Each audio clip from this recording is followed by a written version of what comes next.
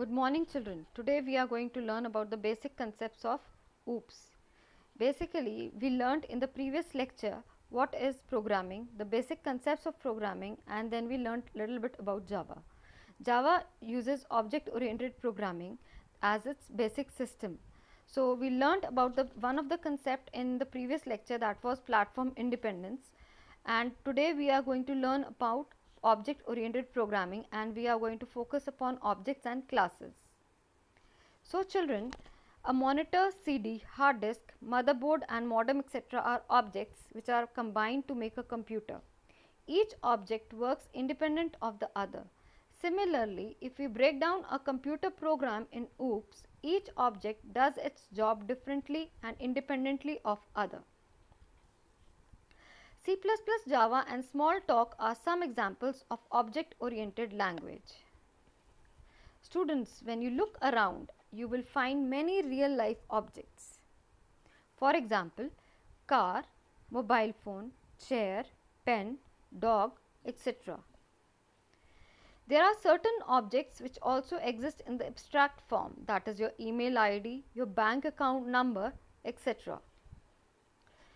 Are you aware that these objects have a state? For example, lights can be red, green or yellow. Similarly, a person can be in a happy or a sad state and so on. Now, let us take an example. For example, a pen. A pen has characteristics such as brand name, model, color, size, etc. Likewise, a student has certain characteristics in the form of a name, father's name, school, class, roll number, etc. Now, let us take another example. If we consider a car as an object, then its state is defined by its brand name, color, speed, size, number of seats and its behavior is to transport people to different locations by controlling its speed and direction.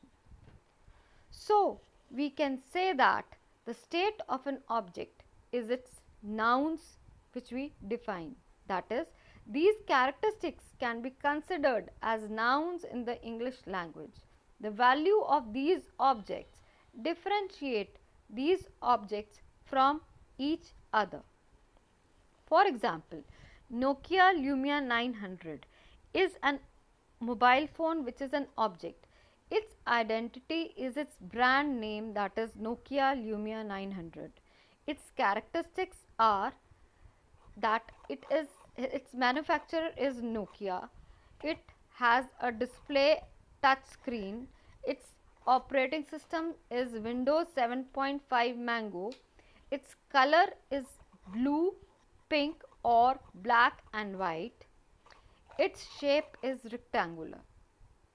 So, and its behavior is to communicate and entertain etc. So, we have characteristics of this object and a behavior which it performs.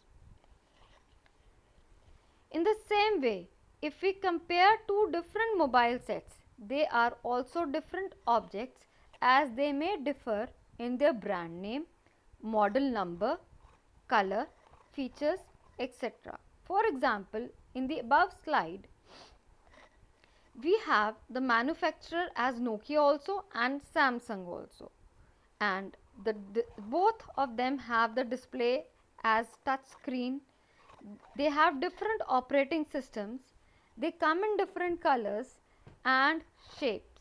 So, we can say that they may differ in their characteristics or maybe some of the behavior. So, we can say that the behavior are the verbs that define them that is the behavior can be considered as verbs for example accelerating, writing, eating etc. Depending upon the object chosen the behavior can be determined.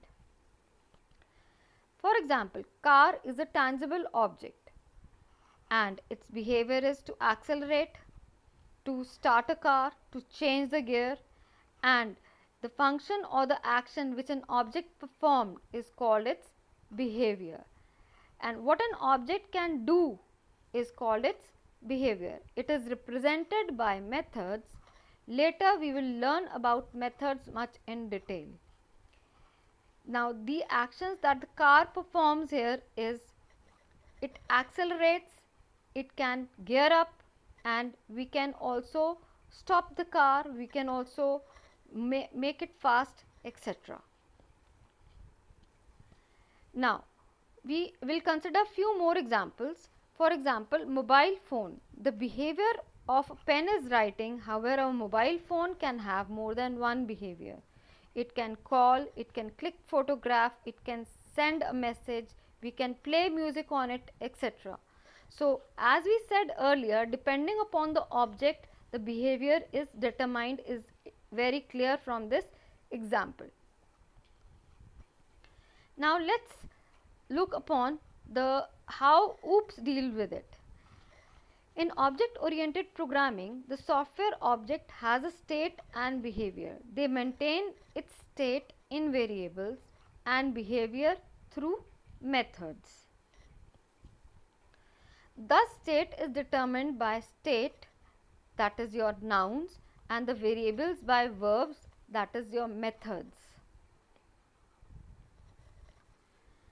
Let us look into much um, one more uh, one or two more examples.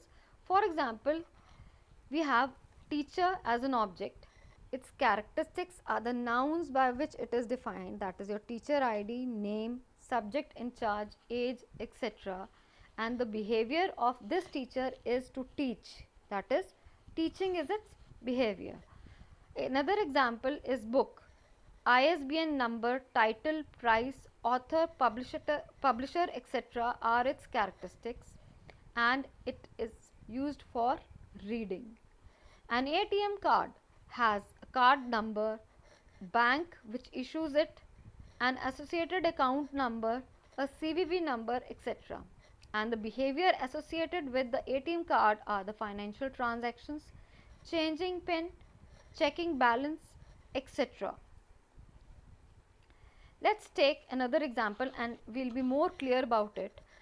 We will consider a dog as an object. Now a dog has a state, it has its name, a color, a breed, whether it is hungry or not and its behavior is to bark, to fetch, to wag its tail etc. Now we will look more into detail. Now we have three dogs over here which are of different breeds they have some common behavior, they have some different size, they are of different age and they are of different color. So, basically dog is a kind of class we are talking about and these are the three objects we are looking into. We will be looking into more detail later on. Now, I use the word class. What is a class? A class is a blueprint or a template to create similar objects of that class that can share a common state and behavior. For example, there is an apple as a class. Now, different types of apples such as Royal Delicious, Golden, Granny Smith can be referred to as its objects of the class apple where each object has its own state and behavior. These can be differentiated in terms of flavor, color, shape, size, etc. Thus, we can say that a class is a conceptual description whereas an object is the actual instance of that class.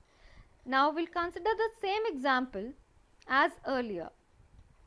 Here there are three different objects of the class. That is dog which is the class which we had talked about earlier also. And each object that is the breed uh, Nepo Mastiff, Maltese and Chow Chow are the different objects of these classes. And they have their own characteristics and behavior. Thank you children. We will continue from here in the next session.